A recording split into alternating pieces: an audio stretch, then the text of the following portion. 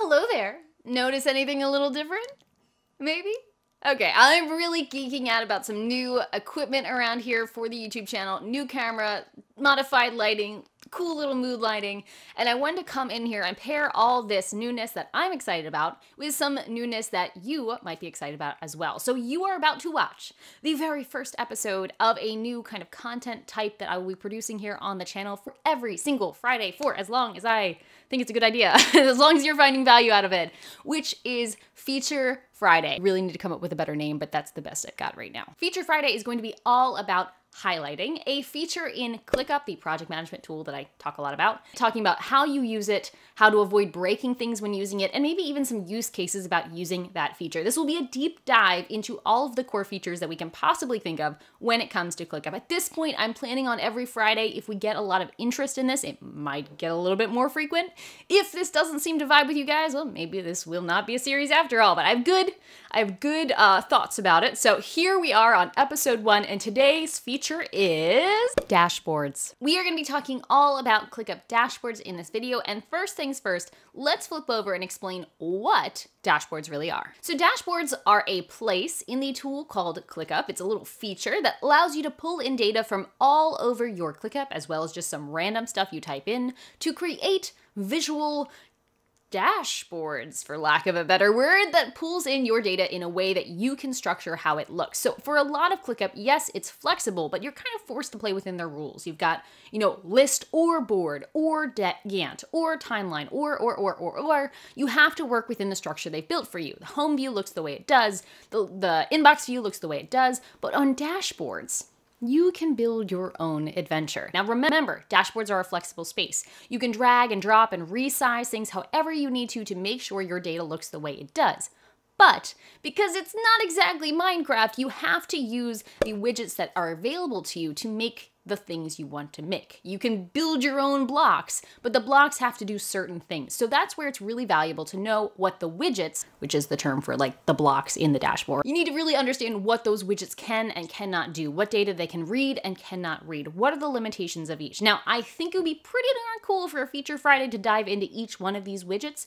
If you agree with that, leave me a comment below and that video will come. All right, so that's what a dashboard is. Second question is going to be, why would you use a dashboard? So why use a dashboard? The reason to use a dashboard is when you want to customize the way things look, pull out things from several places in ClickUp and have one place to look to understand maybe the pulse of the project, who's behind, who's ahead, what do you want to talk about? Something that's more macro that you want to see from all these different areas in your ClickUp all in one spot that is when you want to use a dashboard. There are a ton of widget options here that can each be customized with unique settings to help you build out different views that you can either use for yourself to manage your projects, manage your team, manage your communication, manage your clients, provide a client portal, use for team handbook, use for team training, or you can use dashboards to collaborate with others. Again, team communication might be something here. Using it as a client portal, like I mentioned before, but have the client actually work with you by sharing those dashboards with others. Right now, dashboards cannot be shared with a public link,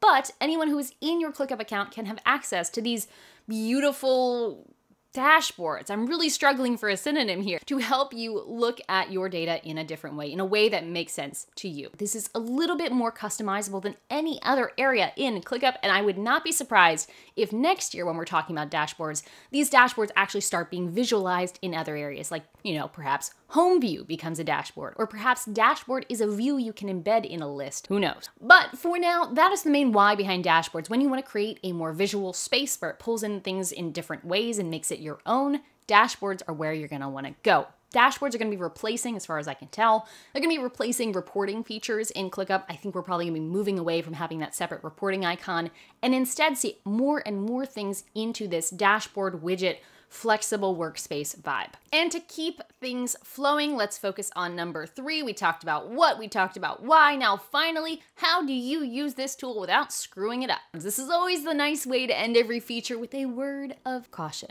So the things you want to keep in mind about dashboards is that right now they cannot be shared with a public URL. So to actually use them with people, those people need to be in your workspace, rather as a guest, an admin, a member, an owner, they need to be in ClickUp to be able to engage with these. So if you're sitting here thinking, yeah, I want to make a client portal as a dashboard, cool. As long as you're okay with your clients being guests in your ClickUp account. I have a whole other video on guest access somewhere around here. I'll link it or put it in the description below. The other thing to watch out for with dashboards is, well, they take some time to refresh. So as you're building out your dashboard, you might look at it, and if you're really looking for time-sensitive information, there's actually a refresh setting that you can set for each dashboard. By default, it's manual only. You can click the button to force it to refresh, that's awesome, but for most people who need to have data in a time sensitive way, you're really relying on that data to help you make decisions, you want to change this refresh rate to be a little bit more often. So it's pulling in the data and making all the tables and charts and things accurate as the day goes on. The other thing to watch out for with dashboards is by default, they are visible to only you, which can be great for those of us who want to have dashboards for just us. But if you are looking to collaborate with others in your dashboard and your team might come and go or change a lot, it can be kind of a pain in the ass to go through and give access to that dashboard. Here's the thing dashboards do not follow the same rules as our spaces, folders, and lists. With spaces, folders, and lists, if we add someone to the space, it's safe to assume they're going to get access to all the stuff in it.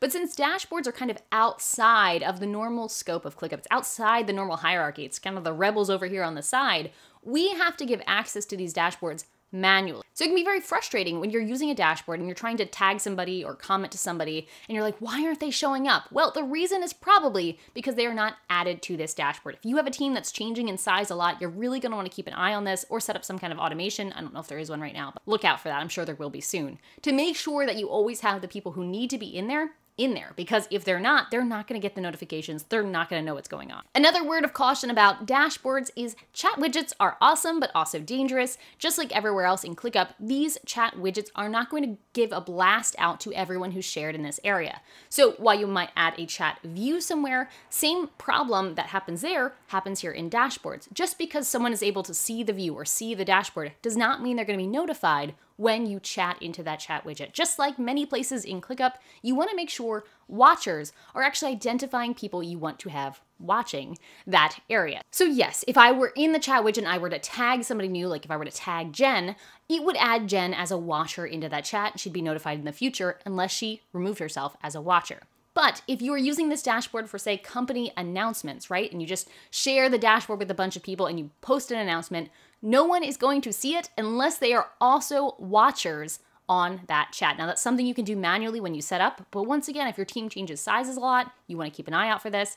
If you have a team who hates being watchers on things and unwatches themselves a lot, keep an eye on this, just something to keep in mind. Another note about dashboards is they can be duplicated and deleted, but they cannot be templated at this time. So if you're making a bunch of dashboards, just be prepared for a lot of data entry. Also, like I said before, dashboards cannot be shared. However, just a little happy note here, dashboards can be added to favorites, which can be kind of cool. So that is it for this Feature Friday, all about dashboards in ClickUp. Now, as we went through this today, I was making notes to myself. I was like, hmm, this could be pretty cool to have a Feature Friday about dashboard widgets. And if you agree with that, go ahead and put the comment widgets in the comments below. Let me know that you would be interested in a widgets deep dive Feature Friday. The other idea I had as we are going through this video is it could be very cool to just do a bunch of dashboard templates. Now, I know I just said you can't template dashboards, but I can show you how we would build one and give you some inspiration for different types of dashboards that might be useful. That'll probably be not a Feature Friday, but a long form video I could do with a bunch of different scenarios. If you are interested in that, let's just comment below use case. That is really not rolling off the tongue. Let's just say use.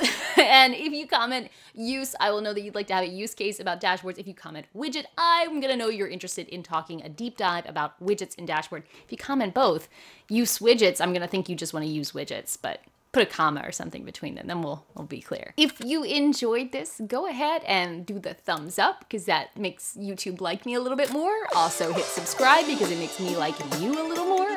and leave a comment letting me know some of your takeaways or voting on those two next type of contents so I know like what to put out next. Otherwise, I will see you back here for the next video. Thank you so much for watching. I will see you soon.